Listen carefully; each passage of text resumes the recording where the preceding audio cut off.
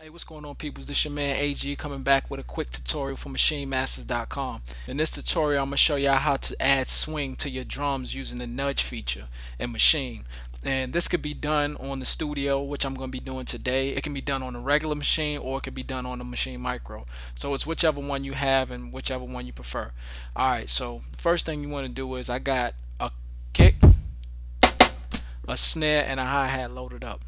And what I do, what I'm going to do is hold shift hit grid cut my quantize on. So now as I play it's gonna automatically snap that to the grid okay? So that means it's gonna be like stiff. And I'm gonna go ahead and come out of that. Alright now we're gonna go ahead cut my metronome on hold shift and record to get my count in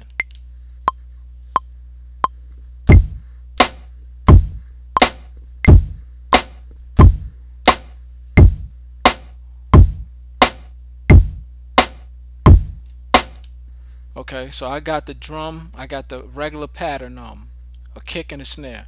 Alright, now how I'm to do the hi-hat, I'm to hold note repeat. And that way you can find out how to do that for those of you guys that don't know. So I'm to hold shift, hit record.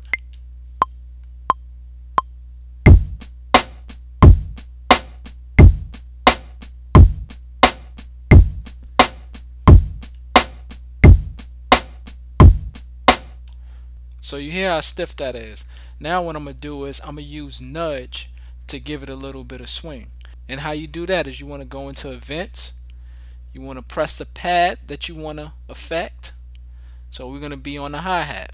The next thing you want to do is you can hold nudge, right? And the jog wheel is going to light up.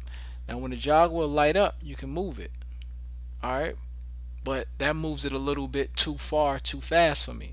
So I want to hold shift with nudge and then move it a little bit. And now you can see it moving very slowly.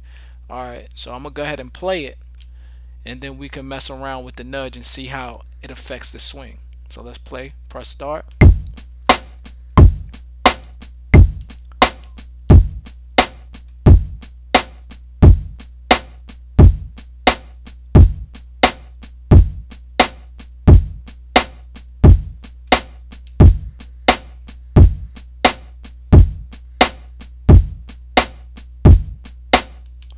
Alright, so I like that right there. I would leave it just like that. Um, and you can play around with it to get it to your swing or your likings, but you can go ahead and go into the snare if you wanted to. You have to deselect that.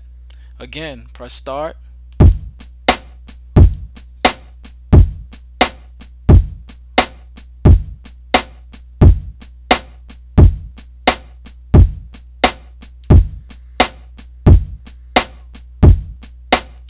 And that moved the snare around a little bit. So you can play around with it. Like I said experiment. You can find your own little groove with doing this. I hope this was beneficial to some of you guys. If you're looking for more tutorials make sure you check out maschinemasters.com uh, we got sample packs beat battles and then we got our online radio show for you guys that want to be heard.